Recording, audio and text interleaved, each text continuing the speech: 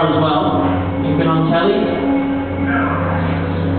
The fish that you can see hanging onto the back of him, that's called a remora fish. And basically he's doing that, uh, he does that by, he's got a small hole in the top of his head. And basically what he does is he just creates a suction through that hole, which just allows him to stick onto the shell. And then you just get a free ride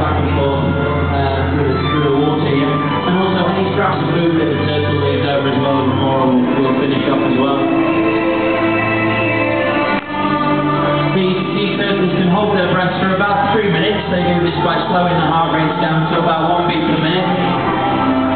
They do eat, they are vegetarians. Out in the wild they eat uh, sea grasses and algae. Here we feed them on lettuce, broccoli, peas, things like that.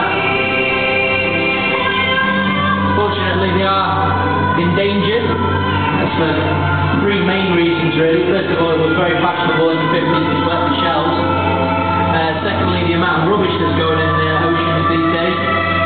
Um, a lot of it ends up in